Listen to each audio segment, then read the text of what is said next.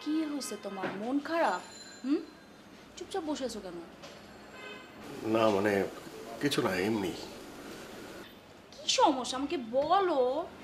আমার আজকে মুড খুব ভালো। তুমি আমাকে যা বলবা যে প্রবলেমের সলিউশন চাইবা আমি তোমাকে দিয়ে দেবো। বলো বলো।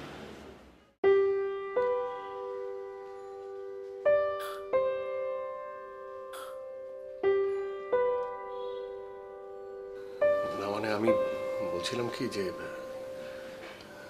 গয়নাটা বিয়ের পর কিনলে হয় না। আর ইউ ক্রেজি হুম? বিয়ে পর করে দিয়ে কি করব? তোমার কি টাকা পয়সার সমস্যা? তুমি না লোন নিচ্ছ? না মানে আসলে মনটা তো তো কি? ভাবি তোমাকে টাকা দিচ্ছে। তুমি লোন নিচ্ছ তিন লাখ সাড়ে তিন লাখ টাকার মতো হোয়াট তারপর তুমি আহ, আর বাকি কত টাকা? থাকে নব্বই হাজার সামথিং এইটা তুমি ম্যানেজ করতে পারতেছো না। আর যদি কিছু টাকা লাগে, সেটা আমি দিচ্ছি। তোমার টাকা নিয়ে তো টেনশন কেন করতে হবে? আমি বুঝতে পারতেছি না।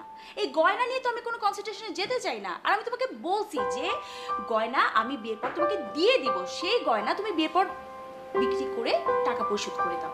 আমার তো কোনো প্রবলেম নাই। কিন্তু এসব আলতু ফালতু কথা আমাকে বলব না, আমার কিন্তু মেজাজ খুব খারাপ হয়ে যাচ্ছে।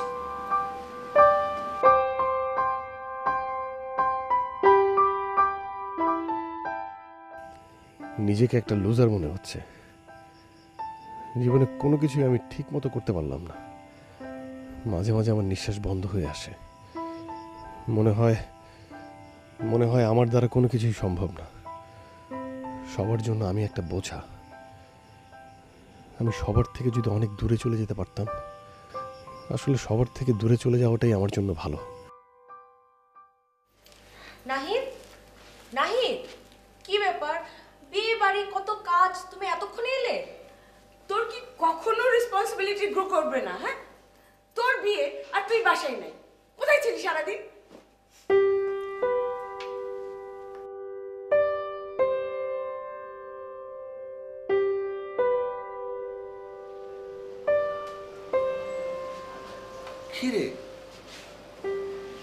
তুই সারাদিন ছিলি কোথায়?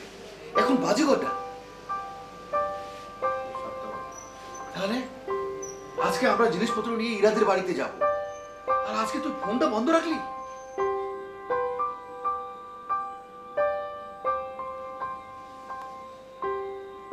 বাবা, তোমার ছেলে এবারও ফেল করেছে। তোমার বড় ছেলে সব সময় পাশ করে এসেছে।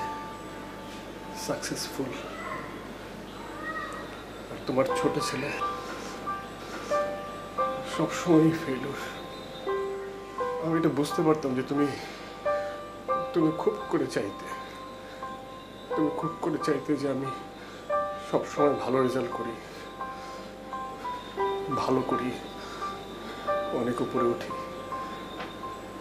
কিন্তু বাবা, বিশ্বাস করো, আমি সব সময় চেষ্টা করতাম, কিন্তু আমার দ্বারা কিছু হয় না। কখনো কোনো চাকরি আমি করতে পারলাম না। ছয় মাস পর আমাকে কিকড আউট করা হলো।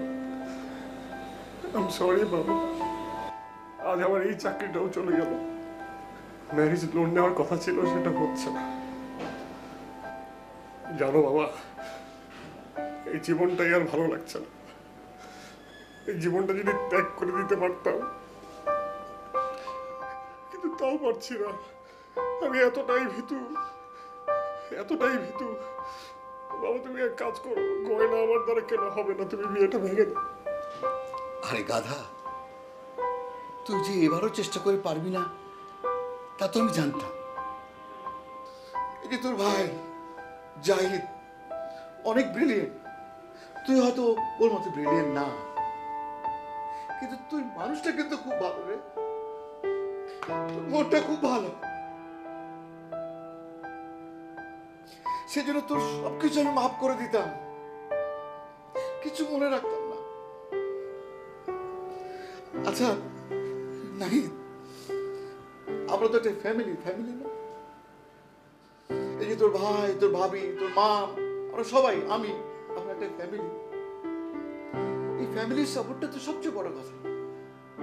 তোর ভাই জাহিদ যদি আজকে একটা বিপদে পড়ে, তুই তাকে অর্থ দিয়ে না পারিস। তাকে সাপোর্ট দিবি না? তাকে সাহায্য করবি না? আজকে সকালবেলায় গহনার দোকান থেকে ফোন এসেছিল। বলল যে সকালবেলা ডেলিভারি নেওয়ার কথা ছিল গহনাগুলো। কিন্তু কেউ নিতে যায়নি। তখনই আমি বুঝেছিলাম যে তুই পারবি না। তোরা দুটো ভাই, আমার দুটো সন্তান, আমার দুটো কলেজার টুকরা। তোদেরকে কি আমি হেরে যেতে দিতে পারি বল? আমি সেই জন্যে আমি গহনার দাম দিয়ে ডেলিভারিটা নিয়ে আসছি। তুই কাঁদছিস কেন? তুই আমার ছেলে? তুই কেন